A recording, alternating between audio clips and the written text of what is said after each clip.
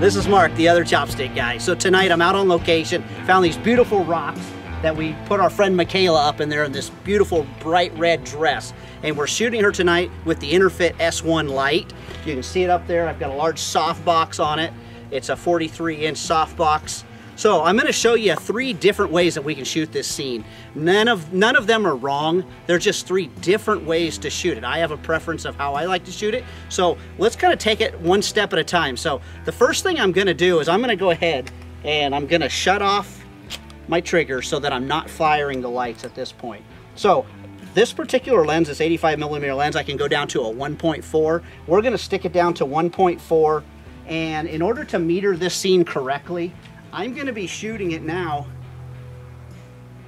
at a 1600th of a second. So we've got very shallow depth of field. We've got everything looking great in there. We've got great light falling on her. The clouds are starting to cover the sun up.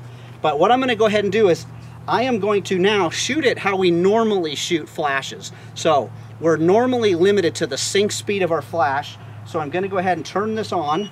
So my hear the beep that I know my light's on. I know that I metered this a few minutes ago. I need to be in F10. So I'm going to go ahead and I'm going to move my camera down to F10 at a,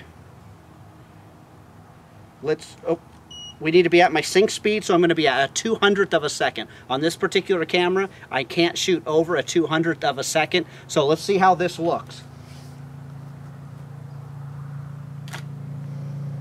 All right, right there at F10, this looks very dramatic, but it looks very flashed. It still looks really cool. We've got great blue in the sky up there. We see lots of detail. The problem is at F10, everything behind her is in sharp focus because we're at that wider aperture. So what I'm gonna go ahead now is I am gonna go ahead and run my camera down back to 1.4 and I'm gonna run my shutter speed all the way up to a four thousandth of a second to see what happens here.